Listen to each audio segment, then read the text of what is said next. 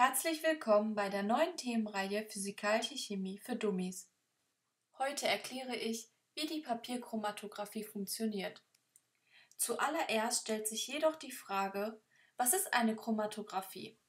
Die Chromatographie ist eine Trennmethode für Stoffgemische. Das werde ich anhand eines Experimentes erklären. Doch zuerst schauen wir uns den Farbkreis nach innen an. Hier kann man wunderbar die drei Grundfarben Blau, Rot und Gelb sehen. Die Sekundärfarben werden aus diesen Grundfarben gemischt. Das ist unsere Grundlage des Experimentes. Die Frage ist, können wir die einzelnen Bestandteile von Farben ermitteln? Zunächst benötigen wir eine Petrischale, Filterpapier und Filzstifte oder Feinliner. In die Mitte des Filterpapieres wird ein Loch geschnitten und ein gerolltes Filterpapier durchgesteckt. Letzteres dient als Wassersäule. Bevor wir mit dem Experiment beginnen, sollten wir selbstverständlich farbige Markierungen auf dem Filterpapier anbringen. Das Filterpapier ist die stationäre Phase, das vorhandene Laufmittel ist die mobile Phase. Jetzt beginnen wir mit dem ersten Experiment und schauen uns an, ob Blau, Rot und Gelb, also die Grundfarben, wirklich keine Stoffgemische sind.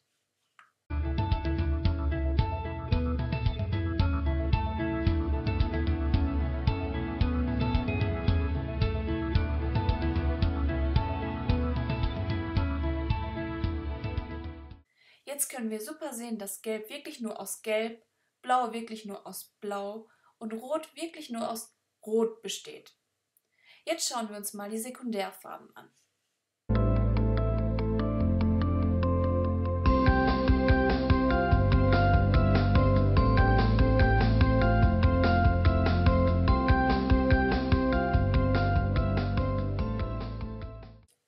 Die Farben Orange, Grün und Violett machen die Sekundärfarben aus. Jetzt kann man wunderbar sehen, dass Grün wirklich aus Blau und Gelb besteht, Orange aus Rot und Gelb, Violett aus Blau und Rot. Aber wieso kann ich überhaupt Sekundärfarben in ihre Bestandteile aufspalten? Da kommen wir zu unserer Eingangsfrage zurück. Was ist Chromatographie? Chromatographie ist ja die Trennmethode für Stoffgemische. Und genau das haben wir jetzt gemacht. Wir haben Sekundärfarben in ihre Stoffbestandteile aufgespalten. Ein wichtiges Schlagwort hier ist die Polarität. Sie spielt nämlich hier die zentrale Rolle.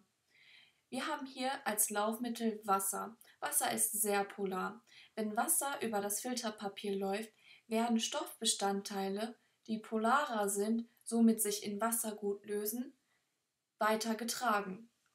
Somit kann man Sekundärfarben in ihre Bestandteile aufspalten, da die einzelnen Bestandteile andere Polaritäten aufweisen. Dies ist natürlich auch mit den Tertiärfarben möglich. Aber wie sieht es denn mit Schwarz aus?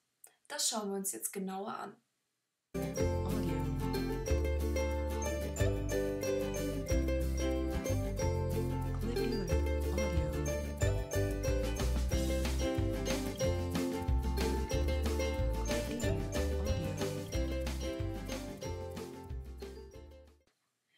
Kann man sehen, dass Schwarz nicht gleich schwarz ist. Schwarz ist nämlich eigentlich bunt. Jeder Hersteller stellt sein Schwarz anders her. Deshalb habe ich auch hier vier verschiedene Schwarzstifte benutzt. Man kann sehen, dass die Stifte vom gleichen Hersteller, die eigentlich eine andere Eigenschaft aufweisen, die gleiche Farbmischung besitzen. Hier kann man nochmal sehr gut sehen, aus welchen Bestandteilen Schwarz entsteht. Doch die Frage wäre, könnte man vielleicht andersherum schwarz machen?